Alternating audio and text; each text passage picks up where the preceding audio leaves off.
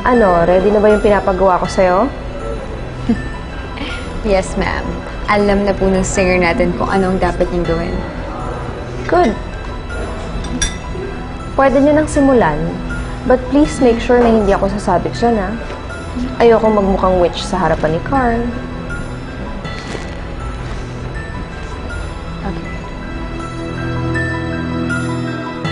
Oh. Ikaw, Rapa, gusto mo kumanta? Kara, di ba ikaw ang employee of the month? Bakit hindi mo kami handugan ng isang kanta? Pagbigyan mo na kami! Tara na! Huwag ka nang mahiya. Pagbigyan mo na kami ng isang kanta lang. Huwag na... Sige na. Hindi po ako marunong kumanta. Sumayaw. Marunong ka naman siguro sumayaw, di ba? Sasayaw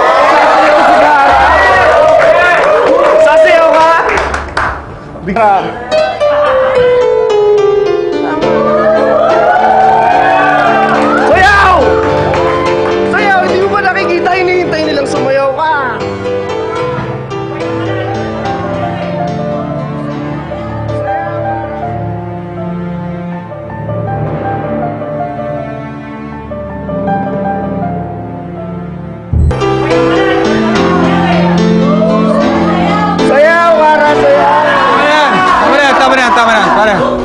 Tama na, tama na. Teka. Tama na, tama na. Idol. Hindi, Tama na. Patuwaan lang to, Idol. Tama na, tama na. Tara, Kara. Sige, Idol. Tama na Idol yan. kita eh. Tama na yan.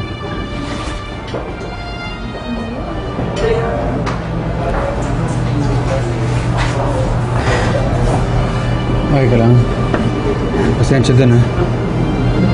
Kara, kawawa ka naman. Alam mo kung ako yun, natugnaw na ako sa hiya. Pwede ba iwan mo muna kami? Ha? Ako na bahala kay Kara. Sus naman, Sir Carl. Para namang totoong concern kayo kay Kara. Eh, ano yung pinagsasabi ng mga teammates niyo doon? Ano bang sinasabi mo? Ikaw talaga, sir, masyado kang mapagbiro. Alam niyo yung sinasabi doon? Pinag-uusapan nila na pinagtitripan niyo lang si Kara. Ginagamit niyo lang daw para pagsilosin si Ma'am Elizabeth. Naman. Wait. Did I hear it right? Carl?